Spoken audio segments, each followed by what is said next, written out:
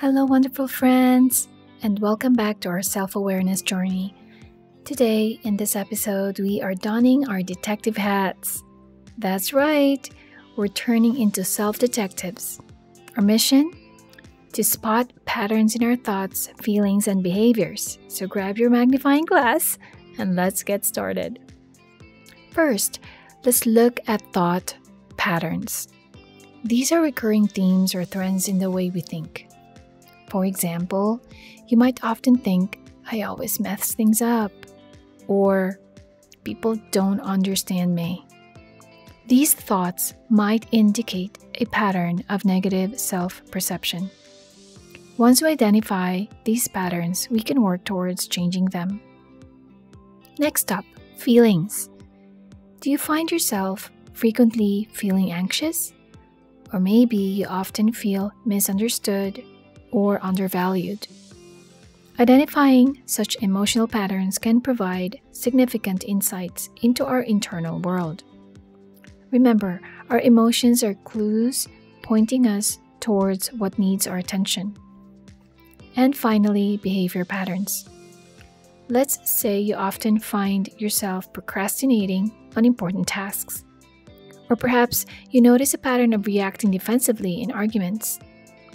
Identifying these behavioral patterns can help us understand how we typically respond to situations and how we might respond differently.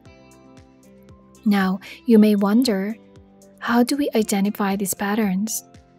A great way to do this is by maintaining a journal. Write about your day, your thoughts, emotions, and reactions. And over time, you will start to notice patterns emerging. Another method is mindfulness, being present and observant of our thoughts, feelings, and behaviors without judgment. This helps us see our patterns as they happen. Remember, spotting these patterns isn't about self criticism, it is about understanding ourselves better so we can make changes if we want to and move closer to the person we want to be.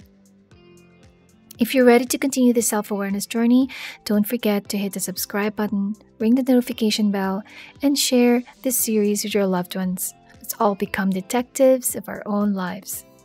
In our next episode, we will explore how to handle feedback and criticism constructively. So stay tuned.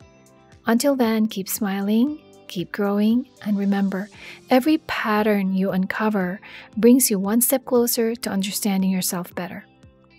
Thank you for joining me today, and I'll see you in the next episode. Until then, be kind to yourself and others.